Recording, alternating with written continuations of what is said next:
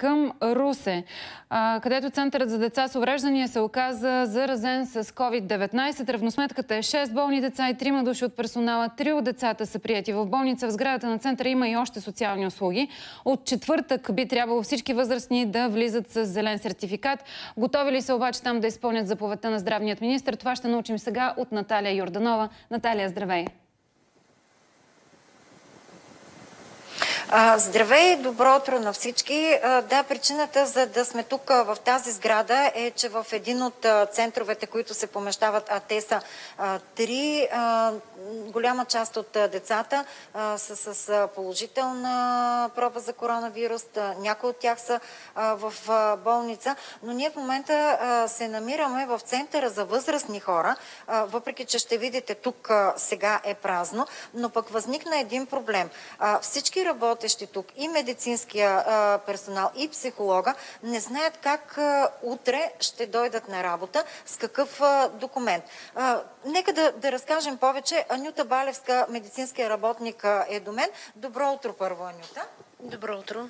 А причината да се чудите как ще идвате от утре на работа, каква е? На вас ви е втори ден след а, карантина след COVID. А, имате, виждам, документ носите, но нямате зелен сертификат. Защо се случи така? А, момента, в който се разболях, получих първата симптоматика за COVID инфекцията.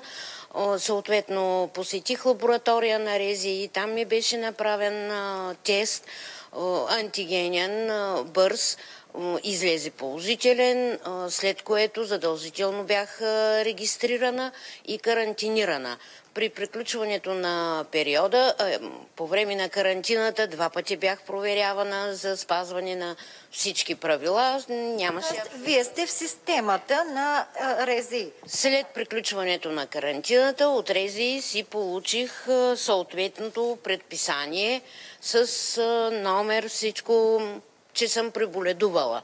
От а, вчера едва съм на, на работа, вече здрава, а, за което се радвам много, но за съжаление утре не знам как ще мога да дойда, Защо? не, не мога да получа сертификат за преболедувал. А защо не можете? Кой ви каза, че не може да го получите?